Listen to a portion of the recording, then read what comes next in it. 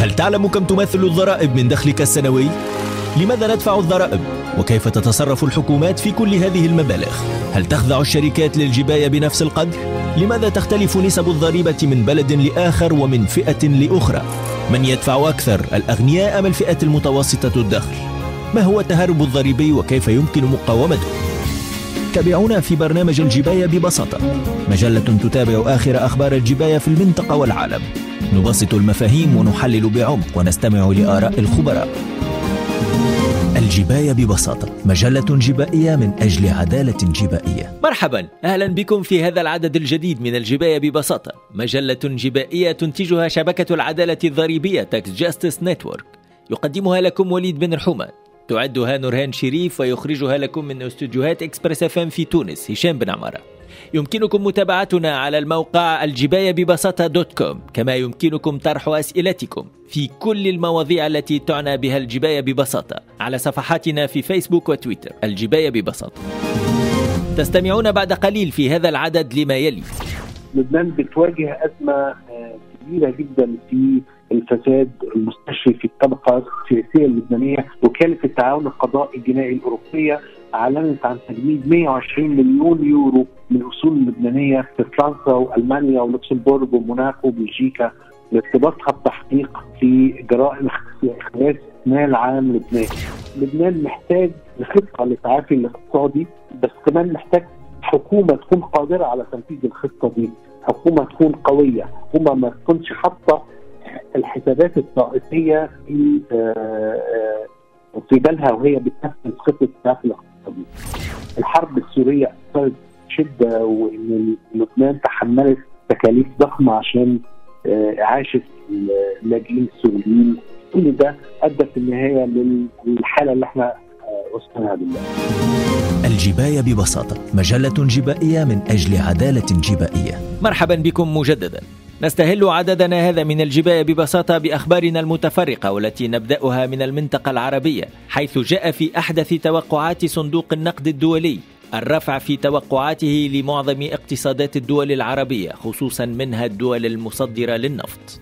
وجاءت توقعات صندوق النقد الدولي في اتجاه تسارع نمو اقتصاد دول الخليج العربي من 2.7% في 21 و2000 إلى 6.4% خلال سنة 22 و2000 وذلك بدعم من ارتفاع أسعار النفط.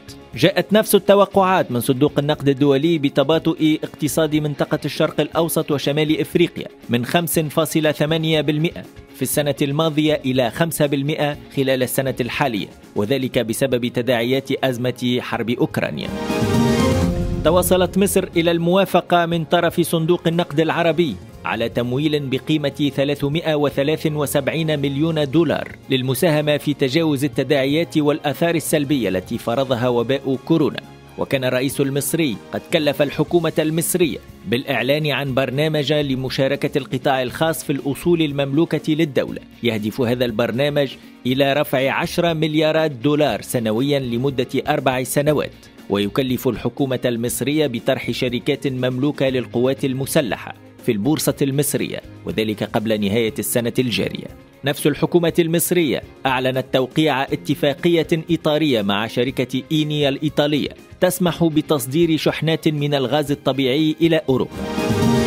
نبقى مع الشأن المصري حيث أعلنت شركة القابضة الإماراتية ADQ استحواذها على حصص في خمس شركات مصرية بقيمة 2 مليار دولار ADQ تحصلت على عدد 215 مليون سهم في فوري للمدفوعات الإلكترونية بقيمة 68.6 مليون دولار كما حصلت على عدد 46 مليون سهم في موبكو بقيمة 267 مليون دولار. جدير بالذكر أن وكالة التصنيف الدولية Fitch Ratings كانت قد ثبتت تصنيف مصر عند بي إيجابي مع آفاق مستقرة. نبقى في المنطقة العربية حيث أعلن وزير المالية العراقي عن تحقيق العراق لمكاسب غير متوقعة بقيمة 25 مليار دولار خلال الستة أشهر الماضية من جراء ارتفاع أسعار النفط. بالمقابل فإن الوضعية في ليبيا على النقيض تماما حيث يبقى النفط الليبي رهينة الأزمات السياسية ويتسبب هذا في خسائر تقدر ب 60 مليون دولار يوميا. أعلن جهاد أزعور مدير إدارة الشرق الأوسط وآسيا الوسطى لصندوق النقد الدولي خلال مؤتمر صحفي بخصوص تقدم المفاوضات بين تونس والصندوق بعد انتهاء المفاوضات التقنية بين الطرفين. أعلن أن برنامج المشاورات ما زال مستمرا مع تونس مشيرا إلى وجود جولة قادمة من المشاورات مع الوفد التونسي. أزعور أكد على العلاقة الوثيقة بين الطرفين كما ذكر بوقوف صندوق النقد الدولي إلى جانب تونس في أزمات سابقة على غرار جائحة كورونا حيث كانت تونس من أول الدول التي تم دعمها ومساعدتها بحوالي 750 مليون دولار وفق قوله. وتحاول تونس الترويج لبرنامج الإصلاح الاقتصادي في واشنطن في سعي منها للحصول على تمويل من صندوق النقد الدولي. عالميا أظهر تقرير موسع لصحيفة Financial Times عن أن عدم وجود قوانين مالية صارمة للتأكد من مصادر الأموال المتدفقة إلى العاصمة البريطانية لندن دفعها لتكون بؤرة للأموال المشكوك في مصادرها عالميا. في سياق منفصل وصل مؤشر منظمة الفاو الذي يقيس أسعار السلع الغذائية الأكثر تداولا عالميا وصل إلى أعلى مستوياته على الإطلاق في شهر مارس من سنة 22 و2000 وذلك بعد استمرار تداعيات الأزمة الأوكرانية على أسواق الحبوب والزيوت النباتية. وكانت أندونيسيا أكبر الدول المنتجة لزيت النخيل. قد حظرت تصديره خوفا من أزمة غذاء عالمية. في حين قفزت أسعار الذرة لأعلى مستوياتها منذ عشر سنوات بسبب مخاوف من نقص الإمدادات. إلى الصين حيث تجري بكين حاليا اختبارات كورونا لجميع سكانها البالغ عددهم 21 مليون تقريبا وسط إجراءات صارمة مع تزايد المخاوف من إغلاق العاصمة بعد إغلاق شنغاي الصين التي أعلنت تسجيل أول حالة إصابة بشرية بفيروس إنفلونزا الطيور H3N8 والذي كان دمر أكثر من 27 مليون دجاجة وديك رومي في الولايات المتحدة بسبب أنفلونزا الطيور. نتيجة لذلك شهدت أسعار النفط هبوطا بخمس بالمئة في ظل تفشي كورونا في الصين زيادة على مواصلة الهبوط لمؤشر دو جونز في وول ستريت والذي فقد أكثر من 400 نقطة وسط مخاوف من تباطؤ النمو العالمي. الجباية ببساطة مجلة جبائية من أجل عدالة جبائية. مرحبا بكم مجددا في الجباية ببساطة. أعلن سعاد الشامي نائب رئيس الوزراء اللبناني في الثالث من إبريل من سنة 22 و2000 عن إفلاس الحكومة اللبنانية ومصرفها المركزي. الخبر أثار ذعرا وغضبا بين اللبنانيين ليأتي بعد ذلك تصريح من رئيس الحكومة نجيب الميقاتي موضحا فيه أن تصريح الشامي نشر على نحو مجتز وأنه كان يقصد وجود إفلاس فيما يتعلق بالسيولة وليس الملاءة وعلى الرغم من تكذيب الإفلاس بقيت علامات الاستفهام حول حقيقة الوضع الاقتصادي اللبناني ومستقبل المواطنين اللبنانيين. في ظل هذه التصريحات نشرت مجلة فوربس قائمة بثروات أغنياء العالم وأشارت إلى أن رئيس الوزراء اللبناني نجيب ميقاتي وشقيقه طه كان أكبر الرابحين خلال هذه السنة. لمزيد التعمق في هذا الموضوع ينضم لنا الدكتور هاني السلموني خبير التنمية الاقتصادية. دكتور أهلا وسهلا بك. في في البداية أستاذ هاني هل يمكن أن تخبرنا عن الوضع الاقتصادي الراهن في لبنان؟ ما هي الأسباب الرئيسية وراء هذا الوضع المتذبذب؟ يعني الوضع الاقتصادي الحالي إحنا كلنا طبعا عارفين إن الأزمة بدأت من سنتين في كتبعات لأزمة كوفيد 19 الدولة أو الحكومة حطت قيود على سحب أموال المودعين بالعملات الأجنبية وبصفة عامة والدولار بصفه خاصه وده كان يعني أول مرة كانت تحصل في لبنان وكان واضح إن إن في أزمة اقتصادية حادة يعني في طريقها لأن تصف باقتصاد البلاد. الحقيقة 2019 كان إجمالي الناتج المحلي للبنان حوالي 52 مليار دولار في 2021 نزل الاجمالي الناتج المحلي من 52 مليار ل 21.8 مليار دولار. ده كان كمان أدى لانخفاض الإيرادات الحكومية النصف تقريبا يعني وصل الايرادات الحكوميه 2021 ل 6.6 من 10% من إجمالي الناتج المحلي. وده ثالث أقل نسبة دخل أو إيرادات حكومية منخفضة على مستوى العالم بعد الصومال واليمن. الاحتياطي بتاع البنك المركزي أو المصرف اللبناني المركزي كان وصل لمستويات حرجة. وبدأت الحكومة تتخلف عن سداد ديون دولية آه، بتزيد عن 30 مليار دولار. والخسائر بتاعت النظام المالي كانت حوالي 69 مليار دولار في 2021 حجم القروض الخارجية كان برضه وصلت لمستويات عالية تجاوزت 92 مليار دولار.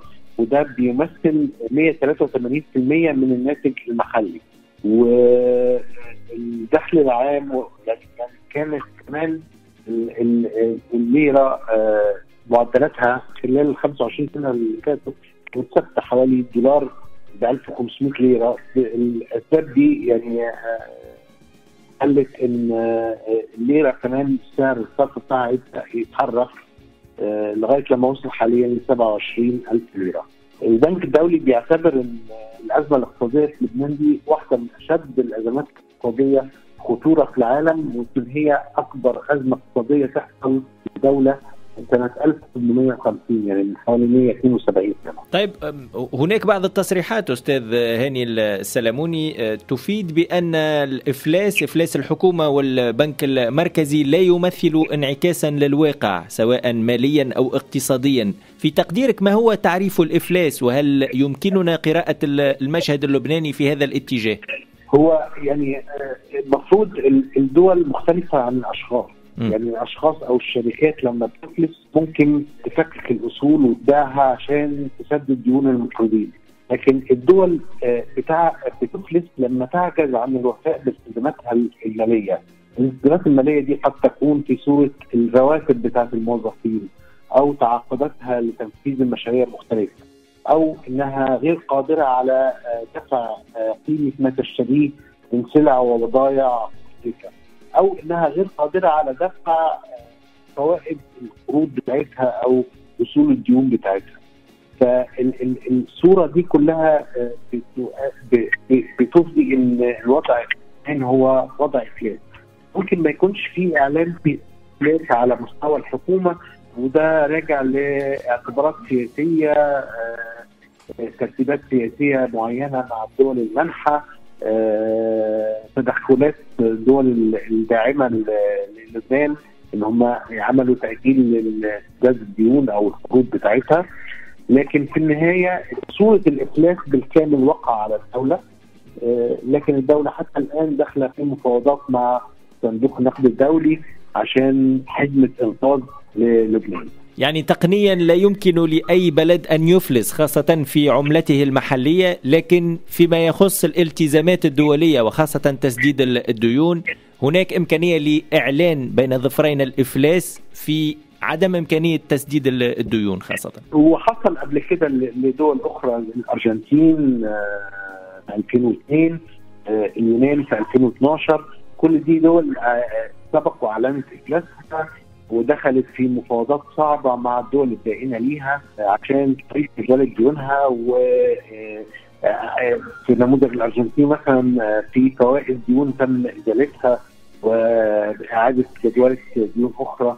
يعني في النهاية الدول مختلفة في إعلان إعلان الافلاس عن الأشخاص الطبيعيين أو عن الشركات. ويعني بيكون في ترتيبات دولية لامتصاص حالة الإفلاس دي ما بيبقاش في إن هو افلس فاحنا يعني آه ما بتبقاش like dead end لا دي دولة بتخش في مفاوضات صعبة جدا عشان تعيد تقييم آه، أو آه، تعيد تقييم الديون بتاعتها وتعيد جدولتها وتعيد ترتيباتها المالية. ولبنان بتحاول إن هي توصل لاتفاق مع صندوق النقد الدولي عشان تعيد جدولة الديون بتاعتها وتعمل آه، نظام مالي آه، جديد يقدر يضبط آه، الايقاع الاقتصاد ويوصل للحل التعافي الاقتصادي. طيب خبير التنمية الاقتصادية دكتور هاني السلموني لبنان مرت من من قبل بعديد الأزمات الاقتصادية في تقديرك هل تختلف هذه الأزمة عن سابقاتها؟ يعني طبعا هو لازم نقول إن السبب الرئيسي للأزمة الاقتصادية اللبنانية هي أزمة سياسية منذ نهاية الحرب الأهلية اللي استمرت لأكثر من 15 سنة انتهت في سنة 1990 باتفاق الطائف اللي قسم السلطه بين 18 طائفة دينية معترف بها في لبنان. من هنا بدأت المشكلة إن بدأ القرارات الاقتصادية تؤخذ على أسس طائفية. ده أدى لأن بقى في نوع من أنواع الفساد السياسي والاقتصادي في البلد أدى في النهاية إن إن الناس بقت من غير كهرباء البنية التحتية بقت ضعيفة ما فيش وقود في معاناة للحصول على الغذاء. لبنان أصلا كان عنده أربع عناصر قوية جدا بتدعم الاقتصاد بتاعه. يعني إن كان عنده تمركز للبنوك العالمية والمؤسسات المالية الدولية في بيروت. وبالاضافه للزراعة والسياحة كانت عاملة مردود اقتصادي عالي. إضافة لمطار بيروت اللي هو كان محطة الرفع الجوي بين الشرق والغرب. الحقيقة البنوك العالمية والمؤسسات المالية الدولية اتحركت من بيروت نتيجة للحرب الأهلية وراحت دبي وأبو ظبي ودول خليجية أخرى وعادت تمركزها فيها. الزراعة كنتيجه للحرب حصل فيها انهيار. المطار بيروت ما بقاش حب لربط الشرق والغرب. كمان عندنا مشكلة كبيرة إن السياسات الاقتصادية اللي, اللي, اللي حطها رئيس الوزراء اللبناني الاسبق رفيق الحريري التسعينات الله يرحمه. كانت سياسات اقتصادية مبنية على تقديم الخدمات وليس على على أساس اقتصاد إنتاجي. فهو كان فكرته إن هو يحول لبنان لهب للخدمات للدول الخليج والدول الاوروبيه اللي عايزة تشتغل في الشرق الأوسط. الحقيقة السياسات دي ما استمرتش وما نجحتش وهي ما نجحتش في أكثر من دولة كما غير لبنان.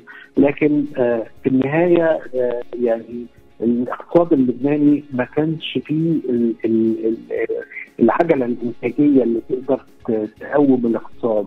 ما كانش عنده الصادرات اللي تقدر إن هي تجيب عملة صعبة للبنان ده بالإضافة طبعا لعوامل ثانية زي الصراعات الطائفيه على الحصص السياسيه عدم الاستقرار السياسي طبعا الحرب السورية أثرت شدة وإن لبنان تحملت تكاليف ضخمة عشان اعاشه اللاجئين السوريين. كل ده أدى في النهاية للحالة اللي إحنا وصلنا دلوقتي. نفهم من كلامك أن كل هذه التراكمات أدت بلبنان والاقتصاد اللبناني إلى هذا الوضع الصعب. هل يمكن اعتبار هذه أسوأ أزمة مرت بها لبنان وتمر بها لبنان خاصة عندما نرى محاولات من المواطنين للقيام بهجرة غير شرعية؟ يعني هو طبعا المواطن اللبناني آه يعني آه مش قادر يوفر لنفسه حياة ودخل كويس خاصة إن عدد كبير من الشركات يعني شركة من كل خمس شركات قفلت في السنتين اللي فاتوا. على الأقل شركة شركات عملت تخفيض لعدد الموظفين. وصلت في بعض الأحيان ل 40% من الموظفين. آه اليونيسف آه في تقرير ليها بتقول إن 77 من الاسر 77% من الأسر اللبنانية غير قادرة على توفير آه الغذاء الغذاء في لبنان حقق أعلى معدلات زيادة في الأسعار تقريبا زيادة في أسعار الغذاء وصلت 1000% في لبنان. كمان في تراجع كبير في تحويلات اللبنانيين العاملين في الخارج. الحقيقة ده كان واحد من دعائم الاقتصاد اللبناني إن اللبنانيين العاملين في الخارج بيعملوا تحويلات سنوية لأهليهم اللي عايشين هناك. حصل تراجع كبير ما ما تفسير هذا التراجع أستاذ؟ سوري أنا مش سامع الصوت. ما, تفسير هذا التراجع في في التحويلات؟ طبعا العالم واجه أزمة اقتصادية كبيرة في كوفيد 19 وفي وظائف كثيرة الاستغناء عنها وفي ناس كثيرة قعدت في البيت فطبعا التحويلات من الخارج قلت كثير جدا نتيجة لظروف كوفيد 19 لكن يعني مرة ثانية ما فيش عامل لوحده هو يمكن العامل الأساسي في الوصول بالاقتصاد اللبناني للوضع اللي حضرتك شايفينه واللي حضرتك شايف ده هو الفساد الاقتصادي. يعني الحقيقة لبنان بتواجه أزمة كبيرة جدا في الفساد المستشري في الطبقة السياسية اللبنانية. يعني على سبيل المثال في شهر مارس اللي فات وكاله التعاون القضائي الجنائي الأوروبية أعلنت عن تجميد 120 مليون يورو من الاصول اللبنانية في فرنسا وألمانيا ولوكسمبورغ وموناكو وبلجيكا لارتباطها بتحقيق في جرائم اختلاس مال عام لبناني. وفي كلام كمان إن في اتهامات لشخصيات مهمة في المصرف المركزي اللبناني بيواجهوا تحقيقات بخصوص اختلاف 330 مليون دولار من المال العام. فدي كلها طبعا يعني دي كلها تهد أي اقتصاد. دي يعني فساد رأي فساد ضخمه جدا وما فيش تحقيقات شفافة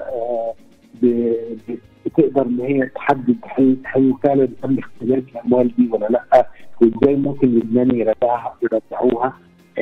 ده يؤدي كمان إن البزنس في لبنان نفسه ما بيحصلوش نمو بيحصل له انكماش وبالتالي الوضع الاقتصادي بيسوء. البنك الدولي في تحليله الأزمة الاقتصادية اللبنانية قال نصا كده إن استمرار الخلافات السياسية الداخلية المنهكه ونزيف رأس المال البشري وهجرة الكفاءات على نطاق واسع تسبب فساد متعمد وهو نتاج استئثار النخبه السياسية بالسلطة والمنافع الأقتصادية. ده ده ده تحليل البنك الدولي نفسه للأزمة الاقتصادية في لبنان. فيعني هو كاشف جدا للسبب الأساسي للأزمة.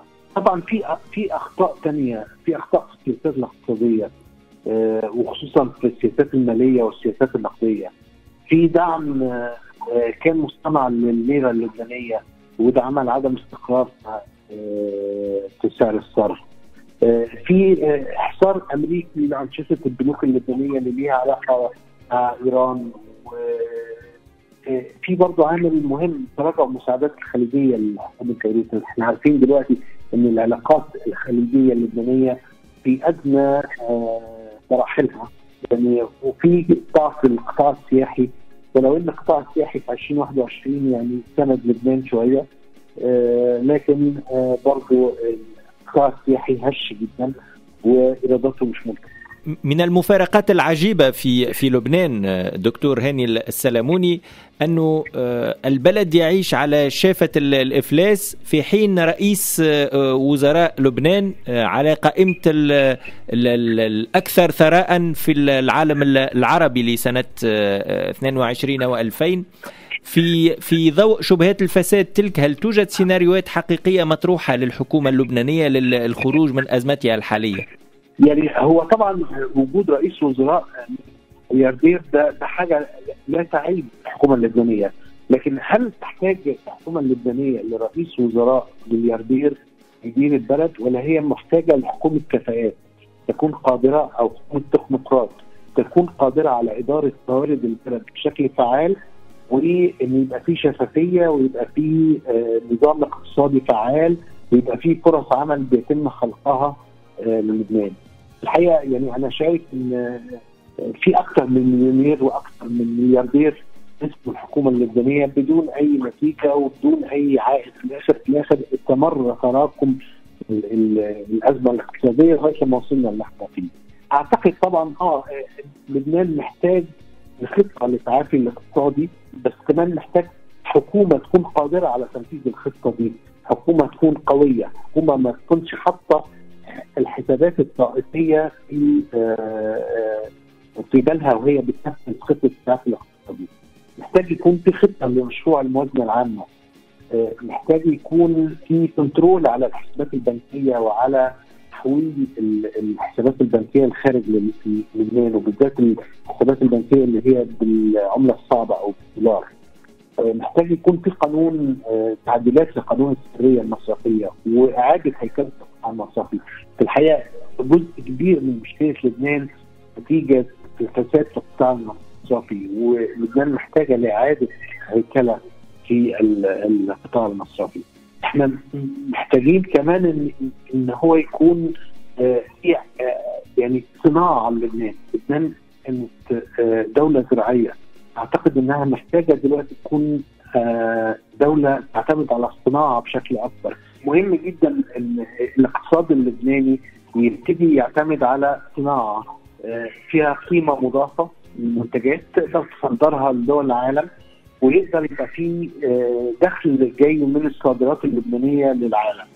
تنمية الصادرات اللبنانية ده محور مهم جدا في الاستقرار الاقتصادي اللبناني.